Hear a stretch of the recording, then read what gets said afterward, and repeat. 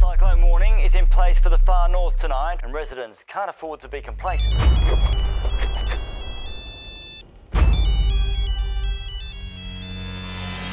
Hello? This neighbourhood is going to be torn up by the cyclone, Johnson. Need a hand there, mate? Hi, everyone. How are you? So, Raj, have you done any prep for the cyclone? Uh, why don't you mind your fucking business? Hey, hey, take it easy. Why don't you fucking make me? I will make you. Come here.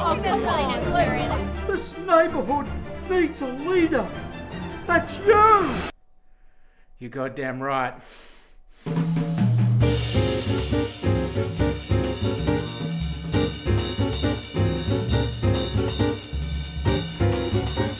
I know it was you who called the cops on me. No, it wasn't. Oh, it wasn't? Well, we got everyone here. Hey, did anyone call the cops on me?